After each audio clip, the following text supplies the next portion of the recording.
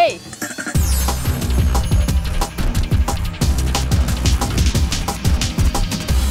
Meu nome é Denilson Rabelo, atualmente o diretor do Instituto de Química da Universidade Federal de Goiás. Sou professor dessa universidade há 15 anos. Dentro dos trabalhos que eu realizo, estão relacionados com a área de polímeros e a área de catalisadores, é, é o desenvolvimento de matéria-prima para a produção do poliestireno. Poliestireno é um plástico que é utilizado em diversas aplicações, como brinquedos, eletrodomésticos, caixas, embalagens. Esse plástico ele tem uma, uma, um grande consumo mundial, um grande interesse econômico.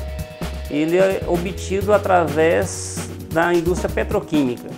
Então a matéria-prima de origem para a produção do poliestireno é o estireno que é o monômero que é, que é obtido através da reação de desidrogenação do etilbenzeno. Então, o trabalho que nós estamos desenvolvendo aqui na Universidade Federal de Goiás é para a produção dessa matéria-prima muito importante para a indústria do plástico. O nosso material é um, um, novo catalisador que ele é a partir de um plástico, de um, de um polímero, que é a base de poliestireno também, esse, esse catalisador, nós fazemos uma carbonização desse material para obter um carvão ativado contendo óxidos metálicos. Esse carvão ativado, então, ele atua na catálise dessa reação, aumentando a velocidade dessa reação de conversão do etilbenzeno e estireno.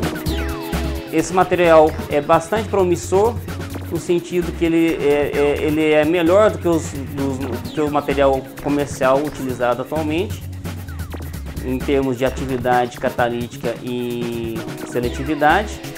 E, além disso, esse material não contém cromo, que é um metal pesado e na hora do descarte do catalisador comercial existem grandes sérios problemas ambientais é, é, devido à presença desse metal que é bastante tóxico. Se liga na UFG!